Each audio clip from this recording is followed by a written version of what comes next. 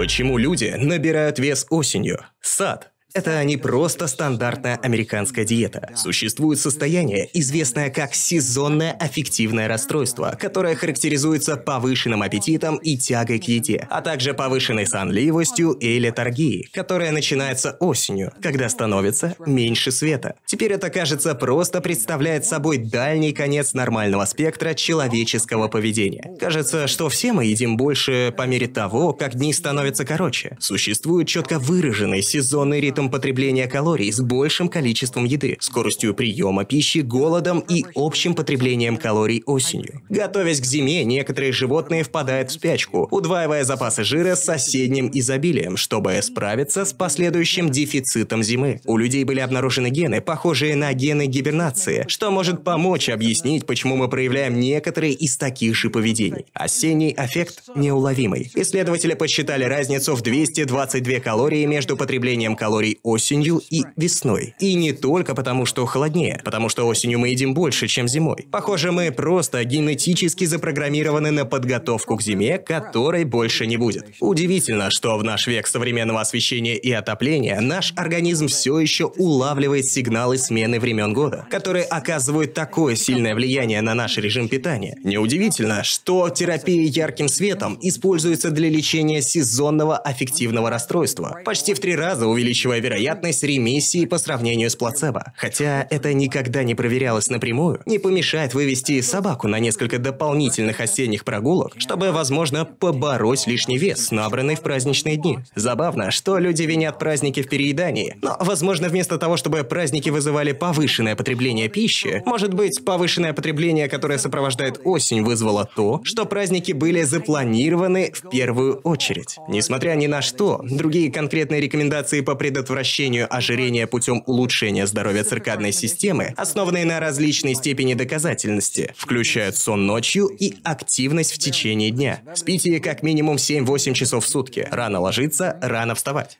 Короткий сон – это нормально. Вопреки распространенному мнению, дневной сон не оказывает негативного воздействия на сон ночью. Избегайте яркого света ночью и по возможности спите в полной темноте. Сделайте завтрак или обед своим основным приемом пищи в течение дня. Не ешьте и не занимайтесь спортом прямо перед сном. И полностью избегайте приема пищи на ночь.